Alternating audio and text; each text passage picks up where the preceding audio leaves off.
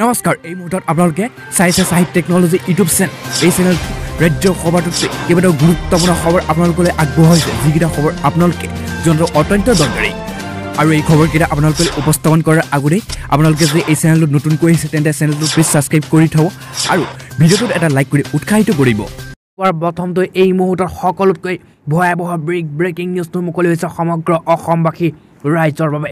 কিয়নো ইতিমধ্যে সমগ্ৰ অসমত ধৰা পৰিছে অমিক্ৰণ তাৰপিছতে সমগ্ৰ হিমন্ত বিশ্ব শৰ্মা চৰকাৰ হাহাকাৰ অৱস্থা। আৰু লগতে ৰাজ্যত আজি পুনৰ বৃদ্ধি পাইছে কিয়নো পাঁচশ একানব্বৈ অৰ্থাৎ ছশ ঘৰ পাৰ কৰিছে এই মুহূৰ্তত মাত্ৰ চৌবিছ ঘণ্টাত ৰাজ্যত কৰোণাৰ আক্ৰান্তৰ সংখ্যা। আৰু এটা ভয়াৱহ খবৰ আহি পৰিছে যে এই মুহূৰ্তত যি অসমত অমিক্ৰণ ধৰা পৰিছে দুজন লোকৰ প্ৰথমে কিন্তু তাৰপিছতে বৃদ্ধি হোৱাৰ সম্ভাৱনা আহি পৰিছে কিয়নো এজন লোক পলাতক অৱস্থাত আছে। ৰাজ্যত প্ৰতিদিনে ইতিমধ্যে বৃদ্ধি পাবলৈ ধৰিছে কৰোণা ভাইৰাছৰ লোকৰ সংখ্যা। বিগত চৌবিছ ঘণ্টাত ৰাজ্যত কৰোণাত আক্ৰান্ত হৈছে পাঁচশ একানব্বৈজন লোকতকৈও অধিক আৰু বৃদ্ধি পাইছে পজিটিভিটি পাৰ্চেণ্টেজো। কিয়নো বুধবাৰে চৌত্ৰিছ হাজাৰ তিনিশ চৈধ্যজন লোকৰ ক'ভিড টেষ্ট সম্পূৰ্ণ কৰাত ইতিমধ্যে আক্ৰান্তৰ সংখ্যা এক দশমিক বাসত্তৰ শতাংশ হৈছেগৈ।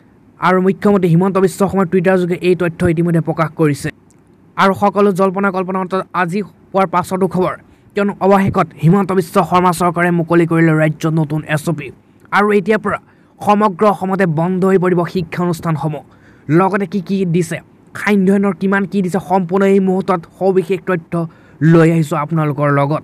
আৰু এই মুহূৰ্তত বৃহৎ সিদ্ধান্ত গ্ৰহণ কৰিছে মুখ্যমন্ত্ৰী হিমন্ত বিশ্ব শৰ্মা চৰকাৰে। আৰু ইতিমধ্যে ক'ভিডত আক্ৰান্ত এহেজাৰ ঘৰ পাৰ কৰাৰ বাবে সময়তে সিদ্ধান্ত ল'ব হিমন্ত বিশ্ব শৰ্মা চৰকাৰে। এটা স্পষ্ট কৰি দিছে এই মুহূৰ্ত। আৰু বৰ্তমান যি পৰিস্থিতি এই পৰিস্থিতিৰ ওপৰত লক্ষ্য ৰাখি পোন্ধৰ বছৰ তলৰ ছাত্ৰ ছাত্ৰীৰ বিদ্যালয় বন্ধ কৰিছে। কিন্তু যিহেতু অমৃতকণে অসমত প্ৰৱেশ কৰিছে পৰৱৰ্তী সময়ত অধিক কঠোৰ সিদ্ধান্ত ল'ব কিন্তু বৰ্তমান যিখন এছ অ' পি আহি পৰিছে এই পিখনত কি কি আছে সম্পূৰ্ণ আপোনালোকক তথ্য দাঙি ধৰিছোঁ। বৰ্তমানলৈকে মুকলি কৰা নাই চৰকাৰৰ ফালৰ পৰা কিন্তু আমাৰ তাৰ বিশেষ সূত্ৰই আমাক এই এছ অ' পিখন জাৰি কৰিছে। আৰু পোন্ধৰ বছৰ তলৰ আজিৰ পৰা সম্পূৰ্ণ বিদ্যালয় বন্ধ হৈ পৰিব।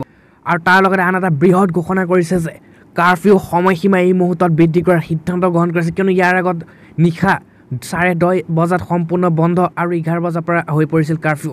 কিন্তু দহ বজাতে সম্পূৰ্ণ বন্ধ কৰিবলগীয়া হৈছিল দোকান পোহাৰ ব্যৱসায়িক প্ৰতিষ্ঠান।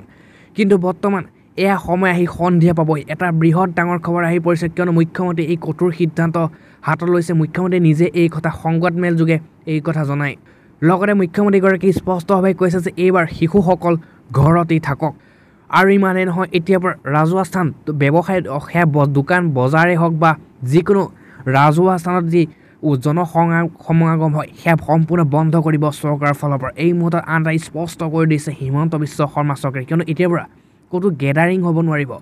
সম্পূৰ্ণ নিষেধাজ্ঞা আৰোপ কৰিছে নতুন এছ অ' পিত লগতে মুখ্যমন্ত্ৰীয়ে এটা কথা স্পষ্টভাৱে কৈছে যে আপুনি মাস্ক পিন্ধা অভ্যাস কৰি লওক কিয়নো মাস্ক পিন্ধাটো পুনৰ বাধ্যতামূলক কৰিব চৰকাৰে। আৰু ইতিমধ্যে ছশ সাতশ ঘৰ অতিক্ৰম কৰিছে ক'ভিডে। আৰু পৰৱৰ্তী যি এছ অ' পি আছে সেই এছ অ' পি এহেজাৰ ঘৰ পাৰ কৰিলে সমগ্ৰ অসম লকডাউন দিয়াৰ দৰে পৰিৱেশৰ সৃষ্টি কৰিব। হিমন্ত বিশ্ব শৰ্মাই সিদ্ধান্ত গ্ৰহণ কৰিছে এই মুহূৰ্তত। আজি পোৱাৰ পাছত আন আদায় খবৰ কিয়নো সকলোৱে প্ৰশ্ন জল্পনা কল্পনা আহি পৰাৰ মাঘৰ বিহু নহ'ব উৰুকা উদযাপন কৰিব পাৰিমনে নোৱাৰিম কাইলৈ চৰকাৰে ইতিমধ্যে আজি সিদ্ধান্ত। এটা বৃহৎ ডাঙৰ ব্ৰেক ব্ৰেকিং কিয় অসমবাসীয়ে মাঘৰ বিহু উদযাপন কৰিব নোৱাৰিব? কিয়নো স্বাস্থ্যমন্ত্ৰী কেশৱ মহন্তই এই মুহূৰ্তত এটা বৃহৎ ডাঙৰ আন এটা খবৰ আহি পৰিছে। কেইবাটাও গুৰুত্বপূৰ্ণ ঘোষণা কৰিছে ৰাজ্যবাসী উদযাপন কৰিব পাৰিবনে বিহু নে নোৱাৰিব? এই বৃহৎ সিদ্ধান্ত আৰু স্বাস্থ্যমন্ত্ৰী কেশৱ মহন্ত সংবাদমেলত সংবাদমেলত কেইটা গুৰুত্বপূৰ্ণ ঘোষণা কৰিছে মন্ত্ৰীগৰাকীয়ে। অসমৰ দুগৰাকী লোকক অমেৰিকান ভাইৰাছত ধৰা পৰাৰ সংক্ৰমণ বুলি ধৰা পৰাৰ পাছতেই স্বাস্থ্যমন্ত্ৰীগৰাকীয়ে এই মুহূৰ্তত সোণাপুৰৰ তেৰ বছৰীয়া শিশুৰ এক যি মেঘালয়ত অমেৰিকান ভাইৰাছত ধৰা পৰিছিল আন এজন হোজাইৰ। চৌৰি আৰৱৰ পৰা ঘূৰি অহা হোজাইৰ মহম্মদ মামুদ হুছেইন দেহত ধৰা পৰিছে অমেৰিকান আৰু লগতে পিছত কলকাতালৈ প্ৰেৰণ কৰা হয় বহুকেইটা নমুনা। আৰু ঊনৈছশ ইয়াত কৈছে যে ইয়াত বহুতো যি অমিক্ৰণ ধৰা পৰাৰ বাবে দুজন পৰিয়ালৰ লোকৰ পৰীক্ষা কৰোৱা হৈছে। অন্যান্য ৰিপৰ্ট নিগেটিভ আহিছে। তাৰ ভিতৰত এগৰাকী অমিক্ৰণ ধৰা পৰাৰ লগতে অন্য কেইবাটাও ডেল্টা ভেৰিয়েণ্ট ধৰা পৰিছে। লগতে ভেকচিন আৰু কৰোণা সন্দৰ্ভতো বহুকেইটা গুৰুত্বপূৰ্ণ সিদ্ধান্ত গ্ৰহণ কৰে। আৰু ইতিমধ্যে এই বৃহৎ সিদ্ধান্ত গ্ৰহণ কৰিছে কিয়নো অমিক্ৰণ ধৰা পৰাৰ পিছতেই অসমত কঠোৰ নীতি নিৰ্দেশন। আৰু মুখ্য এই মুহূৰ্তত স্বাস্থ্যমন্ত্ৰীয়ে কৈছে যে এইবাৰ আপোনালোকে বিহু উদযাপন কৰিব নোৱাৰিব পাৰে বুলি কয় স্বাস্থ্যমন্ত্ৰীয়ে এটা ব্ৰিক ব্ৰেকিং কিয়নো স্বাস্থ্যমন্ত্ৰীয়ে কৈছে যে এইবাৰ আপোনালোকে বিহু উদযাপন কৰিব নোৱাৰিব। আজি পোৱাৰ পাছতো আন এটাই খবৰ কিয়নো এই মুহূৰ্তত আন এটা বৃহৎ সিদ্ধান্ত। আৰু এইবাৰ চৰকাৰে বৃহৎ বন্ধ ঘোষণা কৰিছে দুই দিন। আৰু লগতে কৈছে যে ইয়াত কৈছে বাৰ আৰু তেৰজনে সম্পূৰ্ণৰূপে চৰকাৰী বন্ধ হিচাপে ঘোষণা কৰিছে। শিক্ষা বিভাগে এটা বিশেষভাৱে এক বিশেষ জাননী যোগে জানিবলৈ দিছে যে ছয় আৰু সাত জানুৱাৰী শিক্ষকৰ স্পেচিয়েল লিভ বাতিল কৰা হৈছে। বিপৰীতে এই ছুটিৰ দিন অহা বাৰ আৰু তেৰ জানুৱাৰী স্থিৰ কৰা হৈছে। দুই দিন বিদ্যালয় শিক্ষক তথা অন্যান্য কৰ্মচাৰীসকল বিশেষ ছুটি ল'ব পাৰিব। কিয়নো জনানী মতে এই মুহূৰ্তত বাৰ আৰু তেৰ জানুৱাৰী ৰাজ্যৰ সকলো চৰকাৰী বিদ্যালয় আৰু বন্ধ থাকিব। এটা বৃহৎ ডাঙৰ খবৰ আহি পৰিছে এই মুহূৰ্তত। কিয়নো দুই দিন চৰকাৰী বন্ধ হিচাপে ঘোষণা কৰিছে ৰাজ্য চৰকাৰৰ ফালৰ পৰা। এক ব্ৰিক ব্ৰেকিং নিউজ কিয়নো ছয় আৰু সাত জানুৱাৰীত আছিল সম্পূৰ্ণ বন্ধ চৰকাৰী বন্ধ হিচাপে। কিন্তু এই বন্ধ এই বন্ধতে ছয় আৰু সাত জানুৱাৰী নহয় এই সমুদ্ৰ হ'ব।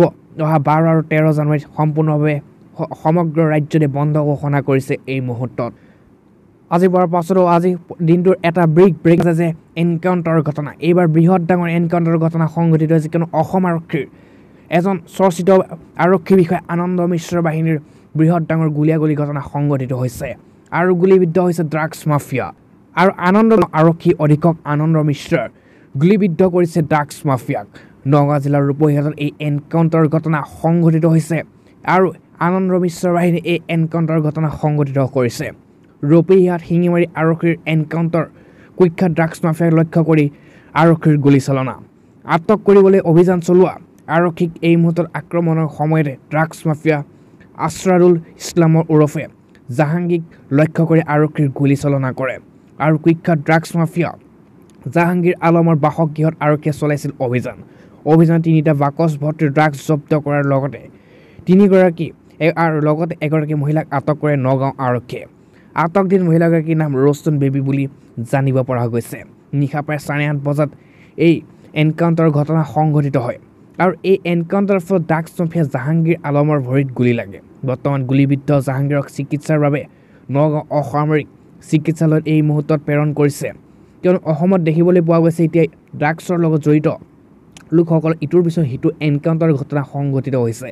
পুনৰ এইবাৰ নগাঁও আৰক্ষী আনন্দ মিশ্ৰই এতিয়া এনকাউণ্টাৰ ঘটনা সংঘটিত কৰিছে। কিয়নো আৰক্ষী আক্ৰমণৰ লগতে বৃহৎ ডাঙৰ ঘটনা সংঘটিত কৰিছিল যেতিয়া অভিযান চলাইছিল আৰক্ষী তথা প্ৰশাসনে। কিন্তু তাৰপিছতেই ইয়াত কৈছে যে ৰবিয়াত শিঙিমাৰী আৰক্ষী এনকাউণ্টাৰ কৰিছে। কুখ্যাত ড্ৰাগছ মাফিয়া লক্ষ্য কৰি গুলীচালনা কৰে। আৰু অৱশেষত আৰক্ষীয়ে বাধ্যত পৰি গুলীচালনা কৰিবলৈ বাধ্য হৈছে। কিয়নো আনন্দ মিশ্ৰ বাহিনীৰ হাতত গুলীবিদ্ধ হৈছে নগাঁও ড্ৰাগছ মাফিয়া। নগাঁও জিলাৰ ৰূপহীহাটত এই এনকাউণ্টাৰৰ ঘটনা সংঘটিত হৈছে। কিয়নো আৰক্ষীয়ে অভিযান চলাই আছিল আৰু এই অভিযানত আক্ৰমণ কৰাৰ সময়তেই ড্ৰাগছ মাফিয়া আফছৰাদুল ইছলাম ওৰফে জাহাংগীক লক্ষ্য কৰি গুলীচালনা কৰে। কিয়নো কুখ্যাত ড্ৰাগছ মাফিয়া জাহাংগীৰ আলমৰ বাসগৃহত চলাইছিল অভিযান তীব্ৰতৰ। আনন্দ মিশ্ৰ বাহিনীয়ে এই অভিযান চলোৱাৰ পৰাই ড্ৰাগছৰ লগতে বহু আপত্তিজনক ইতিমধ্যে বস্তু আৰক্ষীয়ে জব্দ কৰিছিল।